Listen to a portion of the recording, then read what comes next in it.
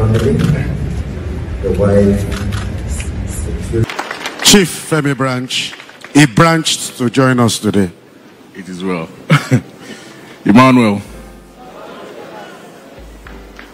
Um, I want to thank you. Okay, I think I need to take this off. I'm sorry. Okay, I want to thank um, the Church of God for this very rare privilege. The fact that I'm even standing here where the man of God had stood. I'm having all sorts of also all sorts of sensations right now. I don't even know how I'm feeling. But I'm speaking on behalf of my colleagues here, so I'm going to make this very quick and very brief.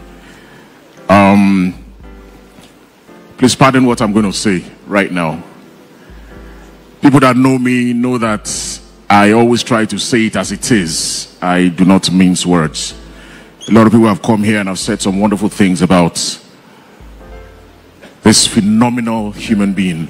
And um, I feel this needs to be said. The first place that Christians got their name, that name Christians, was in Antioch, if I'm correct. That was where they saw these believers and they said that these ones are Christ like. That means they are behaving like Christ. That was where that name Christians came from. It was not a nickname, it was not a title. They earned it through service. Amen. All right. Now, now knowing a true Christian or a man of God is not rocket science. It's not such a hard thing to do. Because the Bible said concerning Jesus that he went about doing good and healing all those that were oppressed of the devil. Sorry, it's like you didn't hear what I just said. The Bible said Jesus went about doing and healing all those that were oppressed of the. Does that remind you of anybody? Can you put your hands together for Father, for Daddy?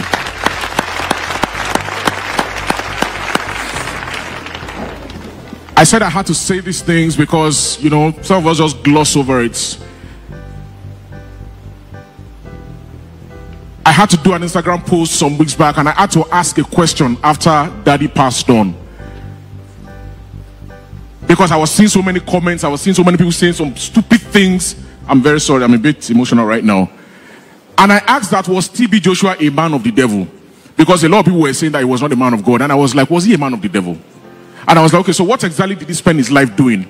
Because as far as I'm concerned, if I'm looking at Nigeria right now, I'm sorry.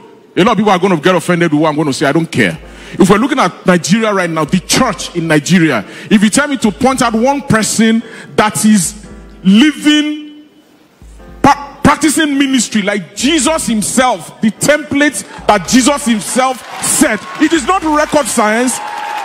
I'm not saying it to make anybody feel good. You know the truth. I'm not telling you anything that you don't know already. And I thank God that I'm, I'm fine. I'm a, I'm a member of this house now. Praise God.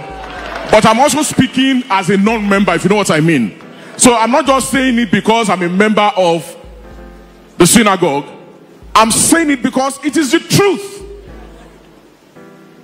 This is a. I'm sorry. I said, mommy. I said something when I when I saw the video of. Uh, I think it was Pastor Biara when he came to visit you, and I said, and I saw the living room of Daddy, and I was like, ah, this is Pastor TB Joshua's living room. Okay, let me not say what I said after that. But we have men of God who invest all of their resources in building mansions, in buying expensive cars, in dressing in designer clothes, and they will still come on the pulpit and say, Look at this shoe I'm wearing, it's $10,000. And this man of God have the audacity to be saying that this man was not a man of God. I am not surprised. Listen, let me tell you something. I did not come here to mourn Pastor TB Joshua, and I'm sure I'll speak the mind of my colleagues as well. We are not here to mourn Pastor Joshua. We are here to mourn a nation who did not know the jewels she had within her grasp until she lost it. We are not here to mourn Pastor TB Joshua. We are here to mourn the many that he touched, the many that he supported, the many that he built up spiritually, financially, who turned out to be the ones to tarnish his image. I am not here to mourn Pastor TB Joshua. I am here to mourn the church who could not see beyond their envy and beyond their spite to learn humaneness, humility, true Christianity, and true service from this humble man of faith. Those are the people I'm here to mourn. Listen, more importantly, I came here to celebrate and to thank every one of you who are seated here.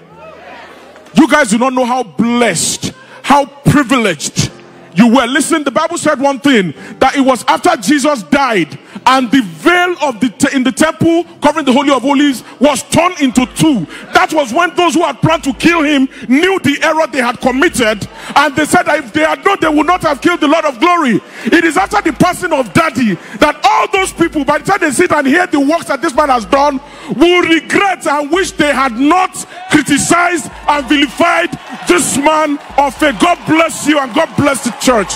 Thank you very much.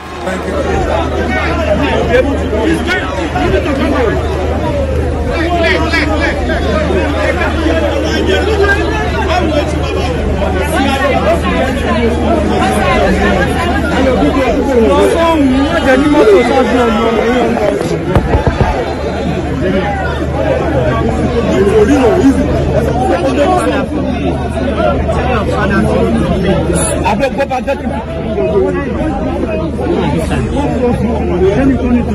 tell him he wants to come to this side. Uh, because he can't see. all right okay let me now come.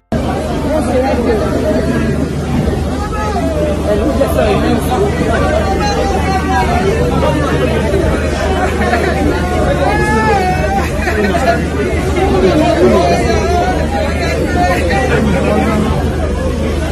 ハハ。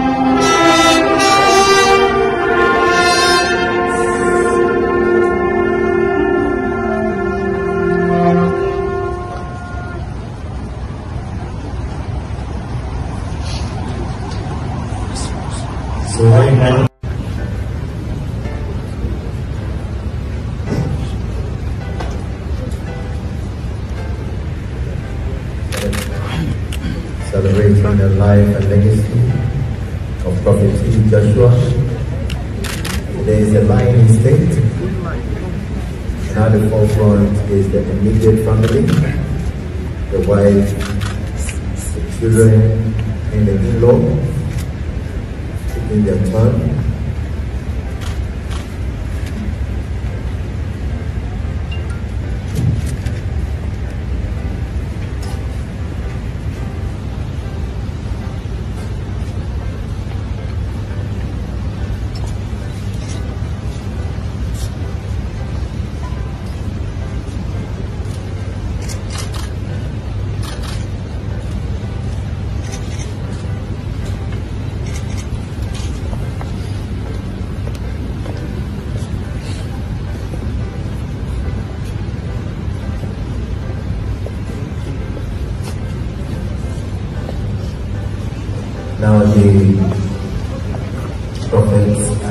Evangelist of Prophet.